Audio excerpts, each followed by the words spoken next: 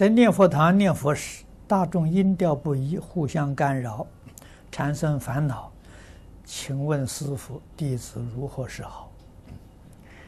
多参访其他的念佛道场，认真的去学念佛堂的仪规。啊，回来之后呢，好好的领众。啊，这个念佛堂。这个这个，呃，音调不不整齐，这是不恭敬。啊，你在念佛堂念佛了，佛听了都跑掉了。啊，什么人来了呢？妖魔鬼怪都来了。啊，所以你这个道场就不是佛道场，魔道场。啊，这个不可以不懂啊。